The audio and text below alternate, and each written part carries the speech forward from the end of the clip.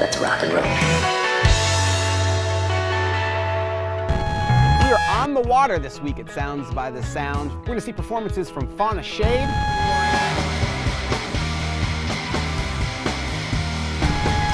Seattle's smoothest rapper, Dave B. That island voice, boy, what I'm going for. That shape would have got me on point. That's this week Sounds by the Sound.